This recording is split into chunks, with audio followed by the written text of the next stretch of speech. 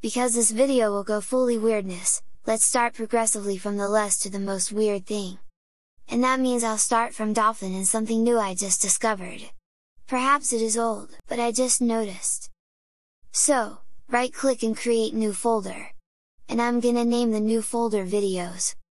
There is already a videos folder, so if I'll press OK, we'll get a notification that this folder exists already. I'm gonna close this, I'm not even sure if it gets away alone. And again, create new folder, and again name it videos. So, in this moment we don't get any warning that this folder exists, and we'll only discover it after we press OK and lose so much time. But if we press space, then we get a super warning inside the dialog box, that the naming is a bit unusual and may be unintentional. Now why we don't get a warning when matching a same name, only a KDE developer knows. And possibly is something to get fixed, but that issue is here for years. And we are not done just yet, so look what happens if we quickly type a two or more words file name.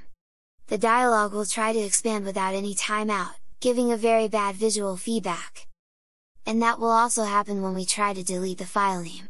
Okay, that's something that will also get fixed, but how could possibly be missed on a review before getting into master? Anyway, all those are tiny details on what's going to follow next. So from this questionably tiny arrow we can open indicators panel. What's new here, is this new button that opens indicator settings, and we can quickly customize this panel. And now you're gonna possibly think out of loud, whoa! how much cool is that? And then I will think, how naive you can possible be! So let me open this to show you what I mean. So we have this small window and that's part of the plot, and the first choice we have is to set icon sizes. Default was small, and let's make it medium. And I'm asking you, does that seem medium to you? What's the big then? And meanwhile that only affects panel icons, and not the inside icons which was this option was supposed to belong by design. But let's set that to large, and apply as always just for losing time, especially when nothing is changing. Huge, and apply, and all the same. Enormous, and apply, and all the same. Perhaps these options would have worked if we had a 150 pixels height panel, or if the panel was in vertical position the fact remains that's a terrible design. Although if I'm calling this terrible I'm not sure how I can call what's following, which is actually the main event of this feature. So let's try to modify the entries. I'm not even going to get bothered to describe this hell, I will only maximize the window to realize that it doesn't even fit on full screen.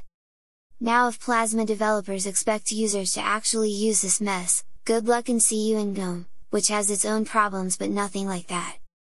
A fair question, why I'm not opening a bug instead of doing a video? First of, uploading a video that millions of Plasma users will watch, it will engage more people to involve and do 100 more times the work a single girl could ever possibly do. and second I have a whole Baby Wogue World 3 to create. So it is you unemployed motherfuckers you should open design issues on Plasma, instead of doing completely useless but still cool stuff. Which reminds me to tell you the best secret that will lead to great design. Just go to KDE GitLab and put your feedback, describe the issues and debate the current design and its flaws. But never ever propose solutions and new designs. I know you think you know better than Plasma designers, but you don't. These guys work for years on desktop and they are very aware of the technical limitations, plus the future plans that you aren't. What they miss, what most designers really miss, is to identify the actual usability problems. As long they identify them they will fix them, so just help them on that. Now if you can code, everything would be better.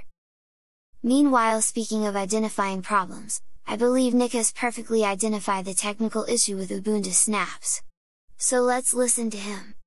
Hey guys, this is Nick and welcome to my Linux experiment. There are many ways to install packages on Linux to install applications and software, and some of these are misunderstood.